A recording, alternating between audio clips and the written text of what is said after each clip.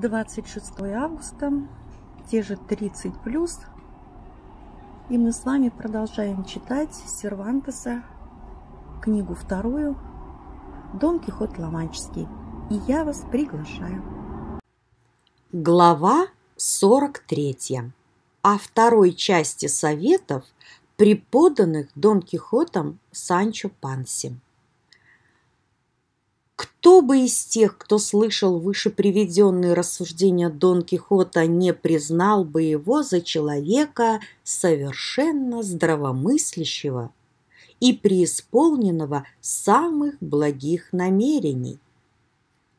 Но, как это на протяжении великой нашей истории не раз было замечено, он начинал нести околесную только когда речь заходила о рыцарстве – Рассуждая же о любом другом предмете, он выказывал ум ясный и обширный, так что поступки его неизменно расходились с его суждениями, а суждения с поступками. Что же касается второй части правил, коим он обучал Санчо, то здесь он выказал остроумие чрезвычайное и в рассудительности своей, и в своем помешательстве дошел до наивысшей точки. Санчо слушал его с неослабным вниманием и старался удержать в памяти его советы. Видно было, что он намерен хорошенько запомнить их, дабы с их помощью рождение нового губернатора протекло благополучно. Дон Кихот, между прочим, продолжал.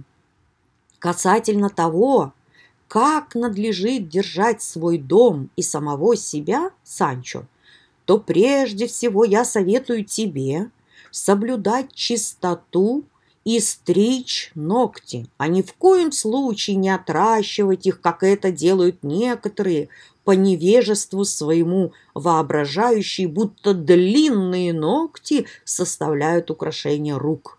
Между тем, как если не обстригать грязные эти наросты, то они смахивают на когти хищных птиц. Это чудовищное безобразие и нечистоплотность. Никогда не ходи Санчо распоясанным и неопрятным. Беспорядок в одежде есть признак расслабленности духа, если только это не нарочитая небрежность и распущенность, в чем, например, подозревали Юлия Цезаря. Установи с наивозможной точностью, сколь важен твой пост. Если занимаемое тобою положение дозволяет людям твоим носить ливреи – то позаботься, чтобы эти ливреи были не столько яркие и пышны, сколько приличны и прочны, и распредели их между своими лакеями и нищими. То есть вместо того, чтобы одеть шесть слуг, лучше одень трех слуг и трех нищих, и тогда у тебя будут слуги и на земле, и на небе. Этот новый способ распределения ливрей – недоступен пониманию людей тщеславных. Не употребляй ни чеснок, ни лук, дабы по запаху нельзя было догадаться, что ты из мужиков. Ходи медленно, говори раздельно, но не до такой степени, что можно было бы подумать, будто ты сам себя слушаешь, ибо всякая напыщенность противна. За обедом ешь мало, а за ужином еще меньше, ибо здоровье всего тела куется в кузнице нашего желудка. Будь умерен в питье. Из тех соображений, что человек, выпивший лишнее, не хранит тайн и не исполняет обещаний. Не вздумай, Санчо, жевать обеими челюстями сразу, а также эрутировать в присутствии кого бы то ни было. «Я не понимаю, что значит эрутировать», — объявил Санчо. Дон Кихот ему пояснил. «Эрутировать, Санчо, значит рыгать. Но это одно из самых грубых слов во всем испанском языке, хотя оно и весьма выразительно. По всему обстоятельству люди с нежным слухом прибегли к латыни, и слово «рыгать» заменили словом «эрутировать». Слово же «рыгать» словом «эрутировать», а это не все, не все пока еще и понимают вновь образованные слова то этого бояться и не нужно. Со временем слово это войдет в наш обиход и станет всем понятным. Язык находится под властью обычая и под властью темного народа, а таким путем он и обогащается. «Честное слово, сеньор, — молвил Санчо, — из всех ваших советов и наставлений я особенно постараюсь запомнить вот это насчет того, чтобы не рыгать. Потому со мной это частенько случается. Не рыгать, должно говорить Санчо, а эрутировать, поправил его Дон Кихот. С сегодняшнего дня стану говорить эрутировать, сказал Санчо. Будьте спокойны, что не забуду. Равным образом, Санчо, оставь привычку вставлять в свою речь уйму пословиц, ибо, ходя пословицы суть краткие изречения, однако же ты в большинстве случаев притягиваешь их за волосы. Вот почему в твоих устах они представляются уж не изречениями, а просто-напросто бреднями. «От этого един Господь властен меня избавить», — возразил Санчо. «Потому в голове у меня больше пословиц, нежели в книжке, и когда я говорю, они вертятся у меня на языке все сразу, толкаются, каждую так и тянет сорваться прежде других. Однако же язык выбалтывает первую попавшуюся, хотя бы и совсем не кстати. Ну а теперь я все-таки постараюсь приводить такие пословицы, которые не уронят моего достоинства, потому где богато живут, там мигом и на стол подают. Кому сдавать, тому же не тасовать. И, ко, и кто в набат бьет, тот уж на пожар не идет. И кто умом гораст, тот себя в обиду не даст. Правильно, Санчо, воскликнул Дон Кихот. Влипай, нанизывай, накручивай пословицы. Никто тебя за язык не держит. Мать с кнутом, а я себе все с волчком. Я тебе говорю, чтобы ты избегал пословиц, а ты в одну секунду насыпал их целый воз, хотя они и подходят к предмету нашего разговора, как корове седло. Пойми, Санчо, я отнюдь не против пословиц, приводимых к месту. Но если ты громоздишь и нанизываешь их как придется, то речь твоя становится скучной и растянутой. Когда сидишь на коне, не откидывайся на заднюю луку седла, не вытягивайся, не расставляй ног, а держи их поближе к конскому брюху и не сиди раскорякой, будто бы едешь на своем сером, ибо потому, как человек сидит на коне, всегда можно определить, кто он – знатный, верхоконный или же простой конюх. Спи умеренно. Кто не встает вместе с солнцем, тот не знает радости дня. Прими в соображение, Санчо, что расторопность есть мать удачи. Врагиня же ее ленность всегда препятствует достижению благой цели. Последний мой совет, который я тебе сейчас преподам, не относится к украшению тела, и все же я хочу, чтобы ты свято сохранил его в своей памяти, ибо полагаю, что он будет тебе не менее полезен, нежели предыдущие. Итак, никогда не оспаривай знатности чего-либо рода. Во всяком случае, не сравнивай один род с другим. От того, что при сравнении один род – невольно окажется более знатным, и тот, кого ты унизил, возненавидит тебя. Тот же, кого ты превознес, ничем тебя не отблагодарит. одежда твоя должна состоять из длинных штанов, долгополого камзола и еще более длинного плаща. О шароварах же и не помышляй, ибо шаровары не подходят ни рыцарям, ни губернаторам. Вот пока и все, о чем мне пришло в голову поговорить с тобою, Санчо. Со временем, глядя по обстоятельствам, я дам тебе новые наставления. Ты же постарайся уведомлять меня о состоянии своих дел. «Сеньор», — заговорил Санчо, — «я отлично понимаю, что ваша милость учит меня вещам благим, святым, полезным. Но могут ли они мне пригодиться, раз я их все до одной позабуду? Впрочем, насчет того, чтобы не отращивать ногтей и жениться вторично, если предоставится случай, это уж я себе втемяшил.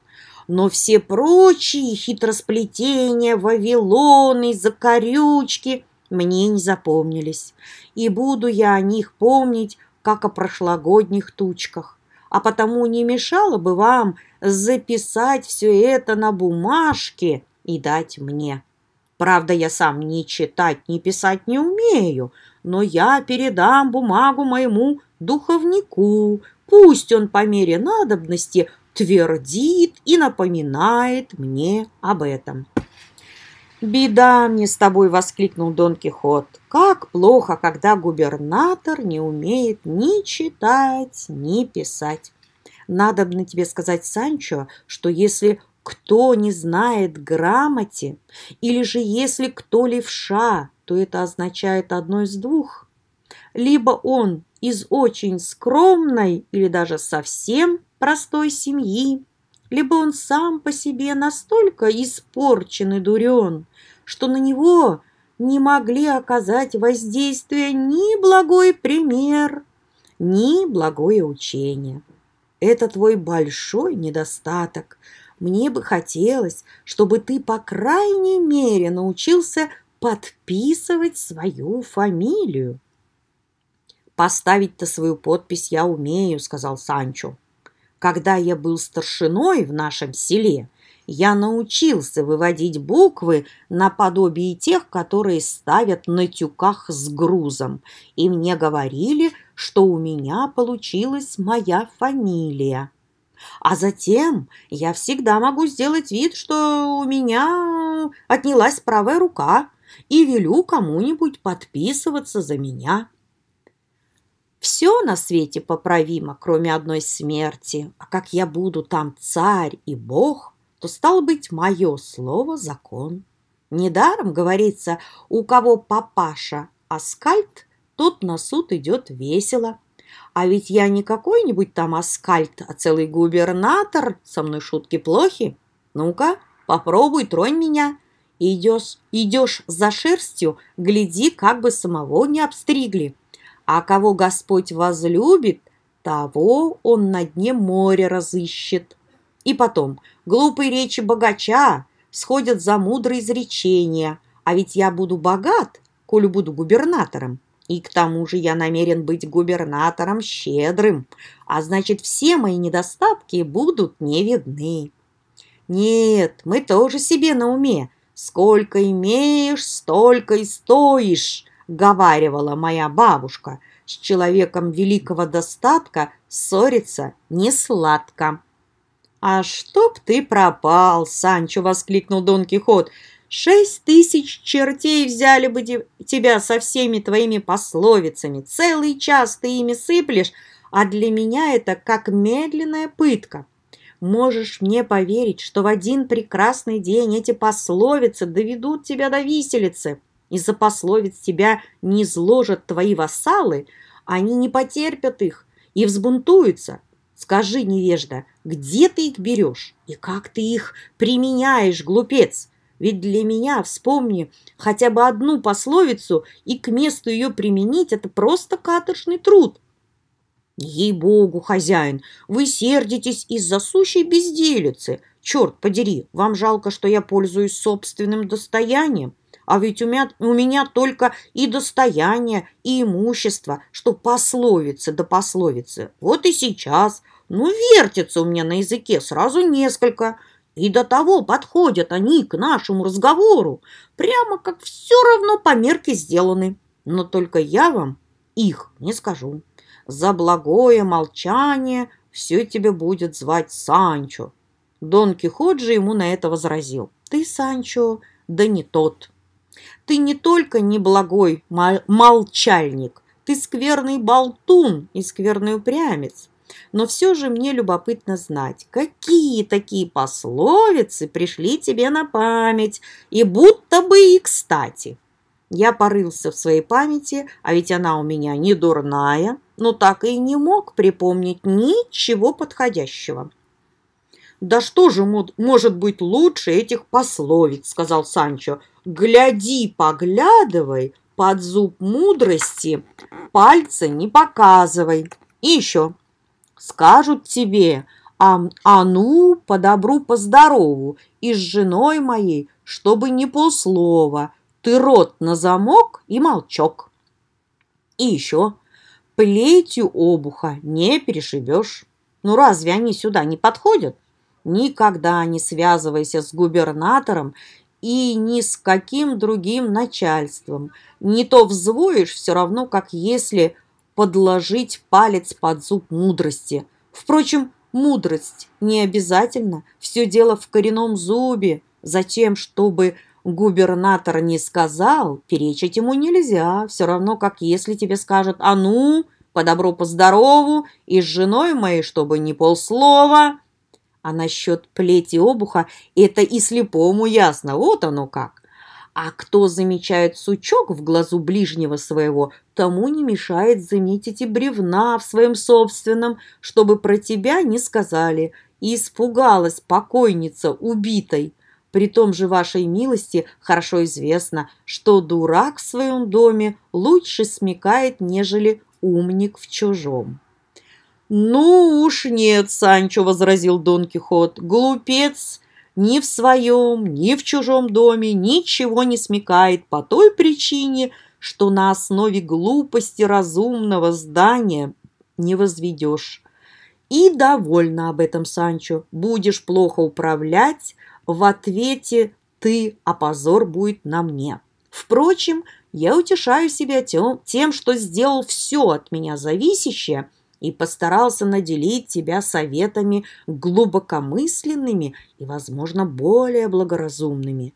Я исполнил свой долг и свое обещание. Да поможет тебе Бог, Санчо, да управляет Он тобою и твоим правлением, и да утешит Он мою тревогу, а тревожусь я о том, как бы ты однажды не полетел вместе со своим островом вверх пятками. Между тем я мог бы это предотвратить, открыв герцогу, кто ты таков, и объяснив ему, что, несмотря на свою дородность и представительность, ты не что иное, как мешок, набитый пословицами и плутнями.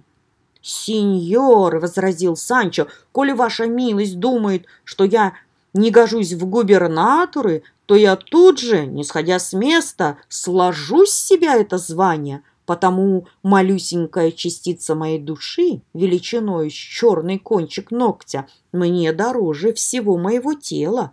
Останусь-ка я просто-напросто Санчо, и на одном хлебе с лугом, с луком я проживу не хуже губернатора, со всеми его куропатками да каплудами. И то сказать, когда мы спим, мы все равны. И начальники, и подначальники, и бедные, и богатые.